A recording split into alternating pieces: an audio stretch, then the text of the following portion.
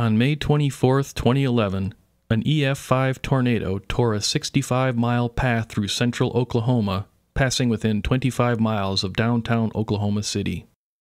Utilizing the Blue Waters supercomputer, researchers have created a simulation that bears a striking resemblance to the observed storm. This simulation required significant computational resources in order to both capture the tornado scale flow within the supercell and also faithfully simulate the full storm and its surrounding environment. We focus our visualization efforts on the region surrounding the tornado that forms within the storm. The first visualization sequence contains a two dimensional pseudocolor plot of surface buoyancy, indicating storm generated surface air, and three dimensional volume rendered fields of cloud and rain. We indicate the location of the storm's rear and forward flanks and associated rear flank gust front and forward flank gust front, both of which are regions of interest to severe storm researchers. Other features of the simulated supercell thunderstorm include a wall cloud, tail cloud, and the tornado itself.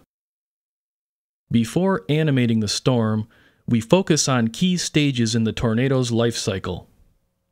First, a funnel cloud is seen descending downward from the wall cloud of the supercell. The tornado strengthens as a burst of rain falls associated with the storm's rear flank downdraft. A few minutes later, a thin rain curtain can be seen enshrouding the tornado. The tornado strengthens over time and becomes wider, taking on a wedge shape. Horizontal vortices can be seen rapidly ascending upwards around the tornado vortex. At times, the tornado becomes wrapped in rain, which visually obscures the tornado. The tornado briefly takes on a multiple vortex structure before becoming occluded and weakening as it ingests cold air generated by the supercell. The following two and a half minute visualization shows the cloud, rain, and buoyancy fields rendered every two model seconds.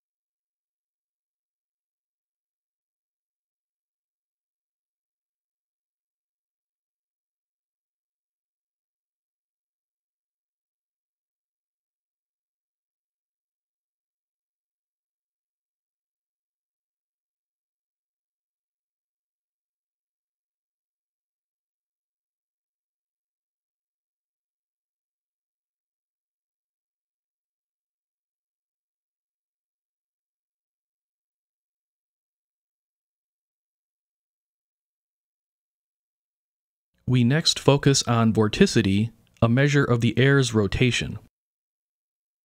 As before, we show the two-dimensional surface buoyancy field indicating the storm's cold pool.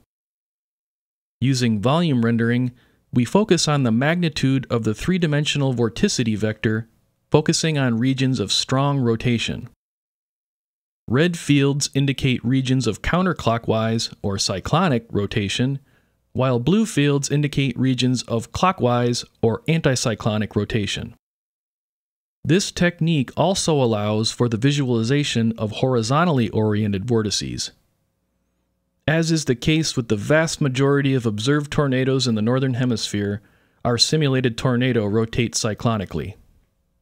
Before animating the vorticity field, we focus on key stages in the tornado's life cycle, including its formation. Prior to tornado genesis, a line of cyclonic vortices along the forward flank gust front can be seen converging towards a growing cyclonic vortex. This vortex continues to strengthen and widen, associated with many vortex mergers. As the tornado further strengthens, vortex breakdown occurs, as is evident by the formation of twin cyclonic vortices rotating around one another. Complex vortex interaction is evident throughout the simulation. Anticyclonic vortices can be seen wrapping around the tornado and being tilted and lifted upwards by updrafts encircling the tornado. The tornado circulation goes through periods of smooth, laminar flow, as well as periods of very turbulent flow where vorticity is shed from the tornado. Multiple vortex flow is also clearly evident in the vorticity field. The following two and a half minute visualization shows the vorticity magnitude and buoyancy fields rendered every two model seconds.